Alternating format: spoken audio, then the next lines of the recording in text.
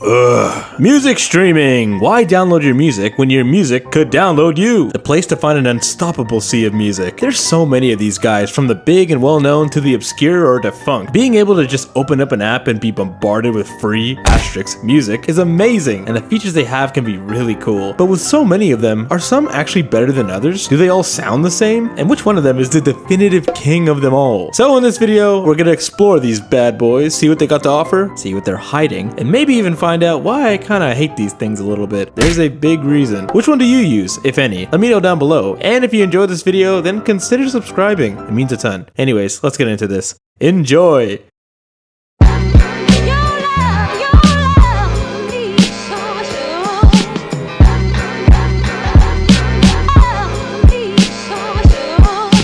I wouldn't mind checking out a streaming site in this vid. You know, people are uploading music onto these things constantly, with Spotify saying there's over 60,000 songs uploaded every day. That's a lot of Thomas. That's crit. What? Someone did the math that it's more like 20,000? And Spotify just inflated the numbers? Also, you're actually speaking gibberish and I'm just putting words in your mouth? You can't trust anybody!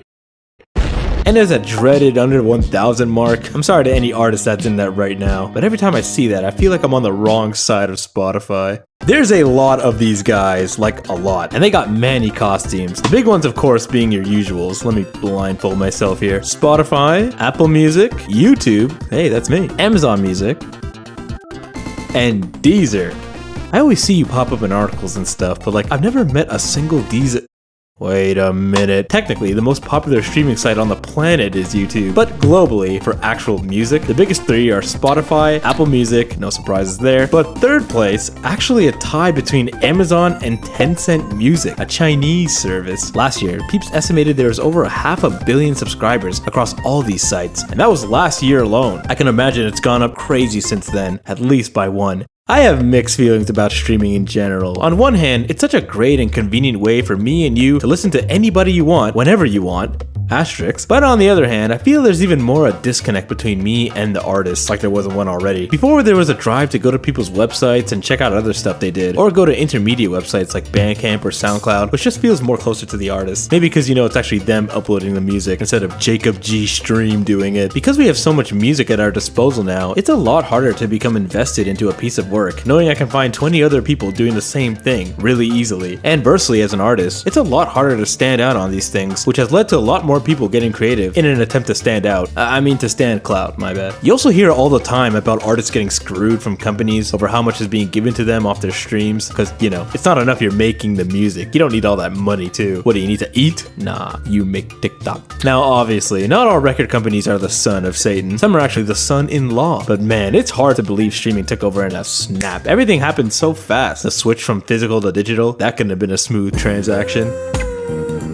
Well, if I want to start somewhere, I could start at Napster, the first significant music sharing service on the internet that was created by two guys, Sean Parker and Shawn Fanning, in 1999. Napster was a peer-to-peer -peer program, meaning the files on there came from other people's computers, meaning anyone could upload anything they wanted to, and you, the poor, poor fool, would download files from their computer. But that's the thing, you could put any audio you wanted, all you had to do was name it. You could label it Britney Spears Oops, but it's actually just some guy eating an apple for three minutes. The start of many gambling gambling addiction. Sometimes you'd get 50, sometimes you'd get these. Pick your poison. In fact, around this time, everyone's favorite cranker Soulja Boy would use these services to trick people into downloading his music by retitling his tracks to the top songs at the time. A true pioneer. Personally, I never used Napster as I was still a wee infant.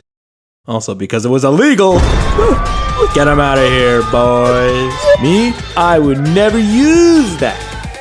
I use LimeWire. I was way too young to even begin to even think about using a computer, so Napster was before me. It's kinda crazy, all their legal troubles really began literally a year in, in 2000, when Metallica found out a demo of their song I Disappear was being passed around on the service, which, upon investigation, found everything was on there. Dr. Dre found a similar case with his stuff, and thus the ball got rolling. This would all culminate into a lawsuit filed by the RIAA, which basically represented all the labels, and after one of the most important lawsuits in the history of music, it was was forced to shut down in 2001. Napster was gone, but by then, it was too late. The impact it had on the music industry was enormous. We're still feeling the shockwave of that today, because with Napster brought the idea of online music, and since that was planted in people's brains, it ain't ever coming out. A bunch of copycat programs would come and go and cement online music as a force to be reckoned with. But pretty much after the lawsuit, the record biz quickly realized they had to come up with something fast that belonged to them so this wouldn't happen again. The answer would come through the invent of the online music store, websites and services allowing people to buy their music directly and play them either online or on their own MP3 players. Those rocks. A bunch of stores were made around this time from a multitude of companies, but the largest and most stable one would be iTunes, created in 03 to stand beside the iPod. But one of the first dedicated streaming sites would be Deezer, a French site launched in 07, which planted the idea for a dedicated music streaming service. Sure, buddy, like that'll catch on. The next year, Spotify would launch Do the Shimmy Online, and the rest is epic rap battles of history. Microsoft tried a bunch with services like Zune, which had their own line of MP3 players and streaming services across Xbox called Zune Music Pass, which turned into Xbox Music Pass a bit later. The Zune Music Pass later evolved into Groove, which eventually evolved into nothing because it got discontinued in 2017. I kind of feel bad for these guys. They were trying so hard, just not where it mattered. Mr. Bites? Ugh. Okay, let's have a look. Aw, oh, sweet, it's an early access pass to this new streaming site opening soon. Sweet. That makes me think, like, in the grand scheme of it all, this stuff is still pretty recent, and companies are still trying to figure out the best way to milk everyone's wallets. I wonder what all the patient zeros thought about this tech, like the first wave of people that bought into this stuff when it was still in development. Now, I've been talking about the old stuff, but we're in 2022 now, Bites. So what are some other streaming sites anyways? Well, there was Beats Music, created by the Beats Boys in an attempt to do their own spin, but after being bought up by Apple, they merged that service to eventually create Apple Music. There's also Tidal, when that launched, was a place to get high-def lossless music, where you could actually support your favorite artists more directly, and all these big artists would come putting their music on there exclusively. Uh, until they didn't. Kanye West's sixth album, The Life of Pablo, was slated to be a Tidal exclusive, and it was, for a couple of weeks. And in that time, over a million people said, hell no, and proceeded to acquire their own copy. Good times. I'll say Spotify's got some arguably nice features to it. Did you know Spotify has its own voice assistant? Yep, it's in the settings near the bottom, at least right now until they move it again. But before to activate it, you have to hold down the search icon on the app. Who is doing that? I don't know why you'd ever want to use this thing, but it's there. Spotify in particular has a pretty good algorithm algorithm. They definitely focus more on the personal aspect of music, kind of like it's its own social media, and that's totally intentional. Like you can follow others, like playlists, they know what they're doing. If you're just listening to tunes, their Spotify radio feature kicks in, that mini radio station that plays once you finish something. I've honestly found some really good artists through it, I can't even lie. There's also that short looping video that plays behind certain songs. That's actually called Spotify Canvas, and before it was only available to people with a certain number of plays, but now everyone can use it. These are always fun to look at because everyone becomes a mini director or just gets lazy. Apple Music is a weird case. At one point, they were the biggest streaming platform around when they made the switch from iTunes. If you weren't an Apple head, you were rocking the Pear phone. But it was after Spotify started becoming more personal with their stuff, like their end of year rap stick, that people ended up making the switch. They've been trying to reel peeps that game with things like lossless audio. Guys, don't worry, we're not losing it. Using Siri to request songs easier,